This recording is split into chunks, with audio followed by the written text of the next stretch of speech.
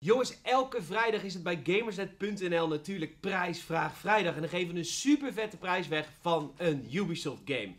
En uh, meedoen kan alleen maar via Gamersnet.nl. Maak er even een accountje aan en reageer onder het bericht, want dan maak je kans bij deze fucking vette giveaway. En deze week hebben we al een prijs van Far Cry 5. Ik bedoel, de game komt pas volgend jaar uit, maar nu al hebben we een fucking vette goodie. Namelijk een t-shirt. Check dit t-shirt, jongens.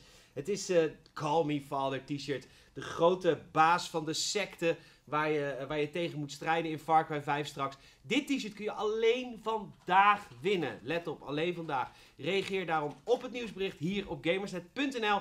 En wie weet maken wij jou blij met dit fucking vette en zeer exclusieve t-shirt. En vergeet ook niet je maat te vermelden in de comments. Succes jongens!